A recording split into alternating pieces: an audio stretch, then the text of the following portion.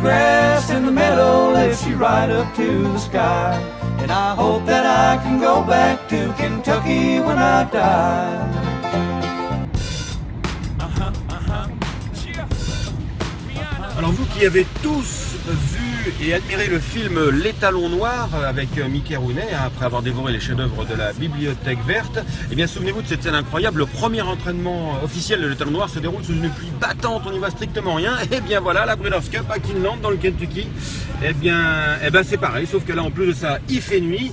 Donc euh, on ne sait pas ce qu'on va voir, mais ça on verra bien, ou alors euh, ben, on verra rien du tout.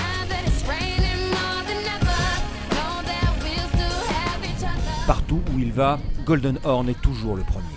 Vainqueur de l'Arc de Triomphe, le crack anglais va tenter le premier doublé de l'histoire dans la Breeders' Cup Turf et brave l'obscurité sous la selle de Frankie Dettori, déjà sur place. Comme toutes les stars, Golden Horn est seul dans la nuit trempée du Kentucky. Puis vient la France. Caraconti défend le titre qu'il a glané l'an dernier dans la Breeders' Cup Mile, mais sous le soleil torride de la Californie. Soudain débarque sur la même piste petite, d'entraînement, de 1200 mètres en polytrack, à l'abri des regards des fans Yankees, l'armada Fabre. En rang, sérieux ordonné, Make le vainqueur de la poule d'essai et de la forêt, Ésotérique, la guerrière de 5 ans, aux trois groupes 1, et Miss France, la gagnante des 1000 Guinées 2014, qui vient de conclure 4 fois deuxième de suite. Pendant ce temps, Freddy Head prend l'eau. Oh, ce n'est pas François Hollande, non. Notre entraîneur sait où il va malgré la crise du ciel et les dépressions climatiques. Stoïque, il présente Queen's Jewel, en quête de rachat après ses échecs complets du Diane et de l'Opéra.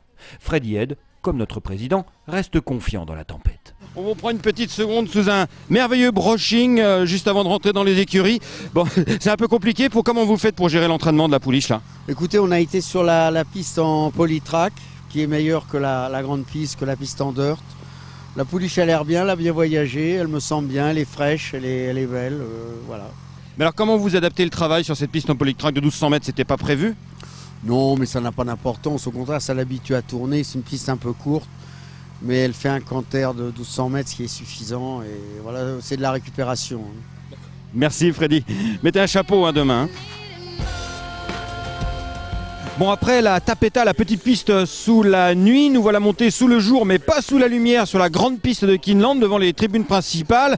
Eh ben, il fait toujours un temps de chien, un temps de dog, un temps de hot dog en Amérique. Ici vont se présenter Bawina et Impassable. Bawina la baie brune et Impassable l'Alzane, les deux premières partantes de Carlos Lafont Parias dans la Breeders' Cup. Mais évidemment ce que la foule ici qui brave la pluie attend c'est la superstar, le gagnant de la triple couronne américaine, American Pharaoh.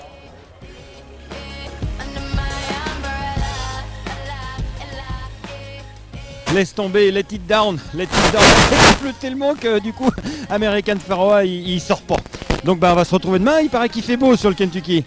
Bye bye